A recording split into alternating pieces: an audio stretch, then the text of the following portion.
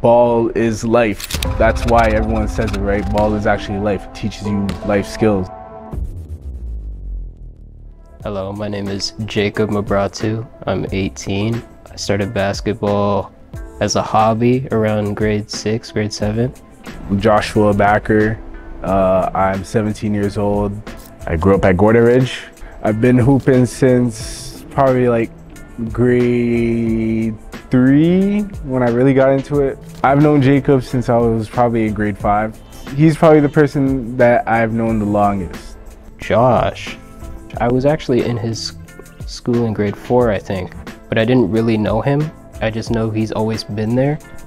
And since we live in the same community, we took the same bus. We got to know each other all the, like every time after school we'd be on the same bus together, so we got to know each other there.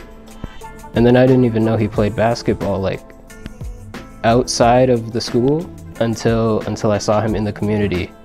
Midnight basketball helped us become closer, like see each other more often because I have a reason to go somewhere now. It's not like if it's not school, I don't want to leave. Like I'm not forced to do anything. But here it's something I enjoy and it's with people I know.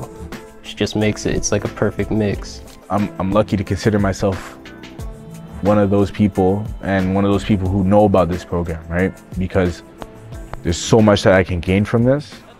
And the impact this program has on the community is that it mostly focuses on youth, the youth in Gordonridge, which I appreciate, right? Because it all starts with them.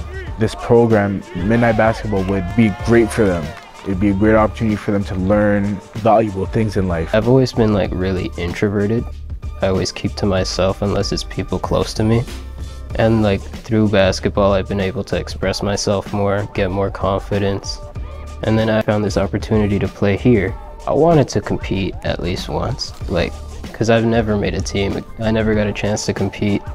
I wanna, I wanna feel what it feels like to be in a game that's really competitive. Why I play basketball is because it taught me so much about wanting to be better, striving to be better than how you were yesterday. It's always shown me the right way, right? Like it's kept me out of bad habits. And the sport makes me feel safe, right? Like there are people that I've met and played ball with, people that I consider brothers on the court. Someone I really look up to would probably be Daniel. He's been doing a great job like mentoring everyone, giving everyone like equal treatment. I like one thing. He said, if you show up to every practice, it doesn't matter how good you are, you're probably going to be on the team.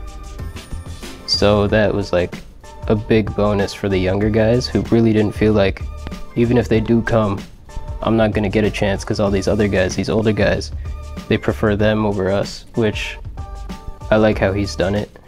Makes them want to show up, makes them want to compete, and ultimately gets them better. See, when I first met Daniel, he doesn't know this. I was like, this guy's this guy's a little too much by the book. Started to get to know him better, which is how all good friendships might start, right? So I got to know him a little better. I don't I don't think that our team might understand my team might understand how how he sacrificed a lot for us.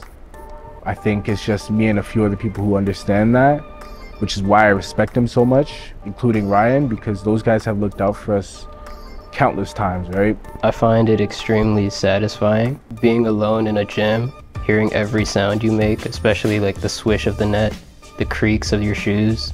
Yeah, those are the best moments.